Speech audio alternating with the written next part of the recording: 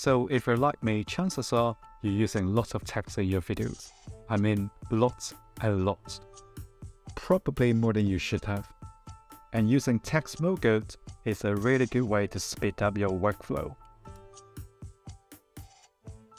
In this video, I'll show you how to use these 5 MOGRTs in Premiere Pro. From a simple text highlighter, which you could choose a word highlight, or something with a more elaborate speed control without keyframing, but it still follows your speed. All of the MOGRTs are free and are available on my Gumroad.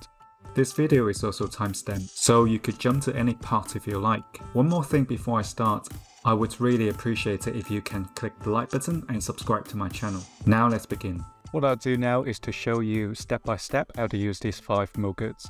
To bring in the MOGRTs, what you have to do is to bring them into your Essential Graphics panel, just drag them in.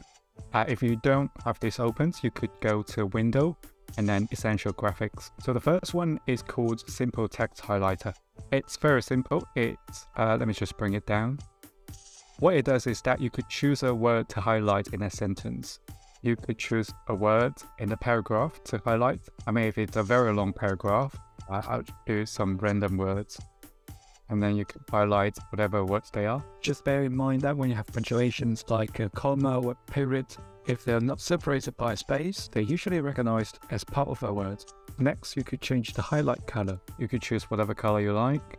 And I want the base color, say you're against a brighter background, I want the base color to be dark. And you can do that as well. Just bring it back. And you could choose different fonts as well. So that's it. That's the first highlighter. So the second one is very similar to the first one, but it's got a built-in animation. It's called highlighter with speed control. So let me just drag it down and extend the background. So like the previous one, um, you've got all the options and this speed control. The way I've designed it is that the lower the speed, the quicker it moves. So if I make it 50, you can see this is very slow.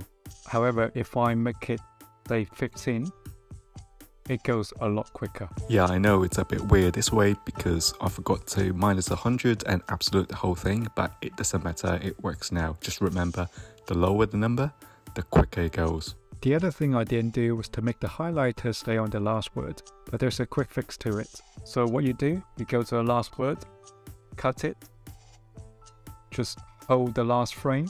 Now you could extend it. Um, and then it stays on the last word. Just like the previous highlighter, you can change the highlight color, the base color, font and size of the text. So the so the use case for this would be Say you have an interviewee and you just want to highlight the words as he or she speaks. And that's it, that's the second highlighter with a speed control. So the third one is called BG Highlighter background highlighter.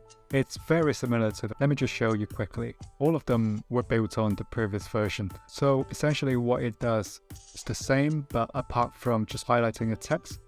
And there's the background as well, which you could change the color and change the uh, pixelation to some extent.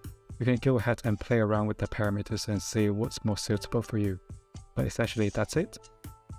The next one is called just one word. It basically reads the paragraph and then the output is just one word at a time. So sometimes we see people use this text effect, which when they talk, there's only one word showing at a time. And this MOGRT does exactly that. So you type in your paragraph here and it outputs only one word. And you could change the, the output font and then bring it up. Now again, it's got less speed control. The slower, the same as before, the slower it is, the quicker it moves. So if you want it to go really fast, you give it a lower number. If they speak slowly, you bring that number up. You may ask why this is here. I mean, this is just to show you you've got some text here. You could toggle this on and off by just ticking this box. I've included the position and scale properties here, so you could easily change those here. That's it. That's the fourth MOGRT, I think. So moving on, we are on the last MOGRT. This is actually a very unoriginal one because I simply took this effect from one of the After Effects presets. It's basically the fade up effect but I've added some more some, some more parameters and some more controls. So the difference with this one is smaller the number, the slower the text shows. So if I just give it a 10, it goes quite slowly. However, if I give it a 50, it goes really quick. And just like the others, you could choose the word to highlight. It's basically a mask, uh, an invisible rectangle behind that text. And you can choose to turn it on or off. By changing the position and scale, you can choose where to highlight. So that's it about this video. I hope these 5 MOGRTs are useful for you. I release free MOGRTs and assets for editing in the future, so make sure you subscribe to my channel. Thank you very much for watching and see you.